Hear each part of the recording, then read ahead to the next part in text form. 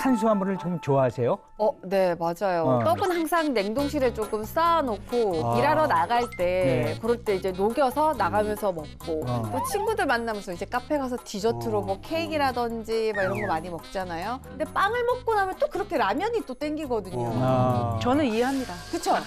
어, 빵 같은 거 먹으면 이제 떡볶이나 라면 또 이런 게 또 어떡해. 땡기죠. 네. 근데 정다운 씨가 지금 그렇게 얘기할 때마다 지금 어머님이 지금 계속 표정이 안 좋으세요. 건강 생각 안 하고 막 끝없이 자식도 있는데 애 생각도 안 하고 지 먹고 싶은 거 다 먹고 할 때 보면은 진짜 애 같으면 한살 때리고 싶은데 근데 탄수화물 많이 너무 많이 드시는 거 안 좋은 거죠? 네, 탄수화물 좀 많이 드신다니까 조금 걱정이 되기는 합니다. 네. 이제 왜냐하면 이 탄수화물은요, 이제 많이 섭취를 하게 되면 이게 이제 에너지원으로 쓰이고 남은 탄수화물이 중성지방으로 변해서 이 뱃살에 쌓이기 때문인데요. 자, 직접 한번 내장 지방 영상 보실게요. 네. 아이고, 아, 저 뭐, 저게 뭐- 내장 지방이에요? 저, 저 누런 게? 어, 너무 어우, 징그럽다. 야, 정말 저게 제 뱃살 안에 있다고 생각하면 야, 볼 때마다 끔찍합니다. 끔찍해. 아. 네, 저기 보이는 누런 게 다 내장 지방인데요. 응. 자, 이 내장 지방은요, 저렇게 내장 주변 구석구석에 달라붙어 있는 지방을 말하는데요.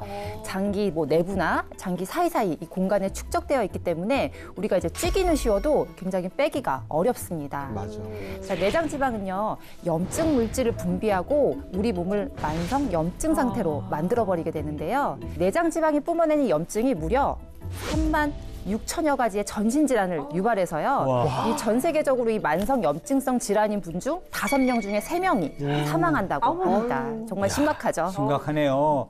아, 네. 저게 어디 내 몸속 어딘가에 장기 사이사이에 껴있다고 참- 생각하니까. 싫네요. 오, 진짜 좀 끔찍한 것 같아요. 예, 예. 아 저런 내장 지방이 내 몸에 있으면 진짜 안 아플 수 없겠고 네. 뱃살 관리 나름대로 뭐 조금씩 한 것이 좀 다행이다 싶긴 한데 네.